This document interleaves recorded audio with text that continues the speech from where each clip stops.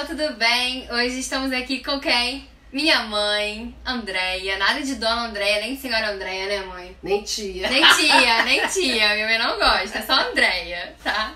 E claro, hoje é dia das mães, em primeiro lugar, né? Desejar um feliz dia das mães para todas as mamães que estejam nos assistindo. E a gente tá aqui com a família completa. Eu, minha mãe, Matilda, Chico tá aqui atrás. Quem, Chico? E a gente vai conversar um pouquinho sobre a nossa relação. Eu e minha mãe, a gente é muito grudada, né? A gente tem uma ligação muito forte desde muito. sempre. E é mais assim, eu vou entrevistar minha mãe para vocês conhecerem um pouquinho mais sobre a nossa relação. Se apresenta. Meu nome é Andréia Vasconcelos, mãe dessa garota maravilhosa, Gabi ah, Vasconcelos. Minha melhor propagandista. e vai lá, manda aí. Então vamos lá. Mãe, vamos hum. começar do começo, né? É, as meninas que estão me assistindo não sabem, mas você me criou sozinha. Você é mãe solo. Meus pais se separaram.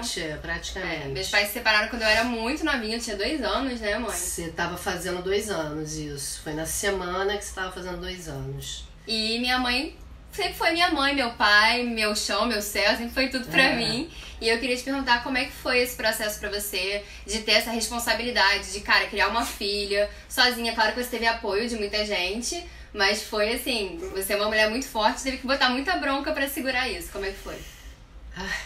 Pode chorar, não tem problema. É claro que foi super difícil no início, né? Você com dois anos, eu me separei e não estava trabalhando, enfim, fui, voltei a morar com os meus pais. Cara, claro, tive um super apoio da minha mãe, do meu pai, que eu voltei a trabalhar, voltei para o mercado de trabalho. E minha mãe me ajudava olhando, tomando conta da Gabriela, buscando, levando no colégio quando eu não podia. Quer dizer, eu levava e minha mãe buscava. E meu pai foi um avô e um pai também, né? Mas assim, a gente vai levando porrada da vida, mas vai caminhando e graças a Deus acho que eu criei uma assim, super bem, né, na minha opinião, é uma garota maravilhosa, uma filha maravilhosa. E só tenho a agradecer. Graças a Deus deu tudo certo.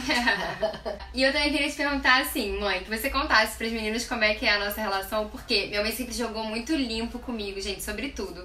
É, todas as minhas amiguinhas mentiam pras mães, tipo, se iam na festinha. Eu minha mãe sempre jogou muito aberto, é né? É verdade. E por que, assim, que você decidiu jogar tão limpo comigo, ser tão verdadeira? Não sei se é da minha natureza, mas assim, eu sempre procurei ser bem sincera e assim até hoje, né? Eu não minto, eu não deixo de falar quem eu fui, o que eu fiz da minha vida, entendeu? Nunca fiz nada de absurdo, mas a gente sempre faz umas merdinhas, né? mas eu conto, eu conto pra ela, eu conto pros meus amigos do trabalho, que é uma galerinha mais nova. Mas assim, eu acho que isso é meu. Então eu sempre tentei jogar limpo com Gabriela. É, às vezes eu acho que pode ser até que eu tenha exagerado um pouco, porque era um enfim, ela era pequena, às vezes com 6, 7 anos de idade, eu jogava real mesmo do que estava acontecendo, assim, tentava explicar da melhor maneira possível. Mas assim, é, teve uma fase que me deu trabalho, né? Que era adolescente, que eu queria pô, matar. Mas fora isso não me deu trabalho para estudar, essas coisas assim. E aquela história do clichê, né, do amor incondicional. Cara, é um amor incondicional. Eu amo muito a minha filha. E a gente se dá muito bem. É, tipo assim, somos nós para tudo, né? A gente tá sempre junto, que a gente trabalha uma do lado da outra. Até hoje, né? Até hoje. A gente vai pro trabalho junto, volta junto, isso quando dá almoça pra voltar. Junto. A gente almoça junto. Todo dia. Todo dia, por quê? a gente é chata para comer, né? No bom sentido. Não gosto de tudo, de todos os lugares. Então ela também, só que ela é pior do que eu, e a gente vai almoçar junto. E a gente se dá bem 99% do tempo. Acho que é normal, né, é. né, ter desentendimento. Mas Não, eu acho que assim, também. é claro que mães e filhas eh, se amam, né? Mas eu acho que o relacionamento que a gente é, tem é, é diferenciado. É a gente se dá bem, a gente é amiga. É, com certeza. Sempre contamos tudo uma pra outra e isso sempre foi assim e foi ficando melhor com o passar do tempo. Do tempo, claro. Eu sempre tive você uma amiga e eu sempre assim, eu acho que você sempre você me tratou. também, claro. Claro. Mas eu acho que desde quando eu era nova, você, você sempre me tratou assim, pé de igualdade. Sempre me ouviu, sempre me respeitou. Tem gente que desconsidera o que criança é, fala. Não, você sempre me levou é. a sério, sabe? Eu acho isso uma das coisas mais incríveis sobre a, a minha criação. Provavelmente.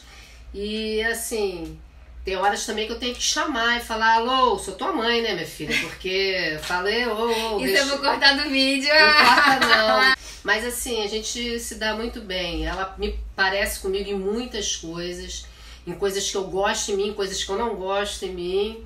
E tem um lado também que eu detesto, que é diferente do meu, que ela sabe o que, que é. é isso, que eu sou bagunceira. Isso a gente briga bastante, porque eu sei que eu sou chata, então eu reclamo, galera! Mas assim, fora isso, né, que eu acho que isso é o pior, a gente se dá bem pra caramba. É. é. Outra coisa que eu acho legal falar é que minha mãe sempre me apoiou muito, assim, em tudo. A gente vê muito, né, mãe, o pessoal falando, ah, eu fiz medicina porque minha mãe me obrigou, Não, fiz direito. Cara, minha mãe sempre me apoiou nas decisões sobre a minha profissão, sobre a minha carreira. É, o canal, minha mãe é a minha maior incentivadora. Ela conhece uma pessoa na rua, ela, minha filha tem um canal uhum. no YouTube, segue ela lá, Gabi Vasconcelos. Ela é minha maior propaganda. Ela não gosta, mas eu falo mesmo porque eu admiro muito o trabalho dela. Eu acho que assim, é, tudo que ela pega para fazer, ela realmente se empenha, ela corre atrás, ela é dedicada. E eu torço muito, lógico, não só porque é minha filha, mas porque ela é boa, né, gente? Isso, eu também puxei minha mãe, porque minha mãe é uma pessoa super determinada, guerreira, é, nossa, vai atrás sim. de tudo. E eu sempre falo com ela que sempre que eu participo de eventos, rodas de conversa e tal sobre feminismo, empoderamento, eu falo que pra mim feminismo, empoderamento e aceitação vem de casa. Porque isso aqui, gente, eu, é, é uma fortaleza, assim, é um negócio inacreditável. Qual é a melhor parte de ser mãe? Qual é a melhor parte de ser mãe? Ah, eu acho que no nosso caso é a nossa cumplicidade, nossa amizade. É, você me faz também muita companhia, porque a Gabriela é caseira, ela e o Bruno, né? Então eles ficam muito em casa vendo filme. E eu posso estar lá no meu quarto, mas eles estão junto, entendeu? A gente está sempre junto. E isso é muito legal, muito legal. E sei lá, mais o quê? Tá bom já, tá né? bom, né?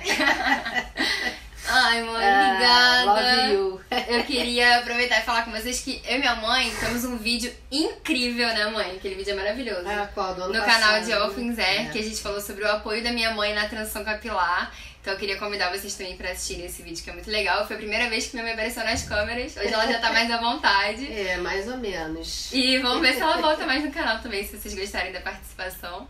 Dá um be... Manda um beijo pra galera. Beijo, galera. Deseja Feliz Dia das Mães. Ah, tem que mandar fazer tudo eu, claro. hein? Ó, Feliz Dia das Mães pra quem é mamãe aí. E continue assistindo a minha filha, né? Beijo. um beijo, beijo. gente.